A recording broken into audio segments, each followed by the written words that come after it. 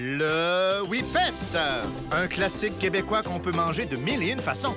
Pas comme la noix de coco, délicieux fruit exotique qui, on va se le dire, se laisse pas manger facilement. Alors, pour votre plus grand plaisir, Whippet vous présente ses tout nouveaux bâtonnets de noix de coco. Vous pouvez les tordre, les écraser, les trancher ou encore les plier. Fait de vraies noix de coco et enrobés du délicieux chocolat Whippet, ils sont tout simplement parfaits pour les moments où vous voulez vous gâter. Et vous, comment le mangez-vous?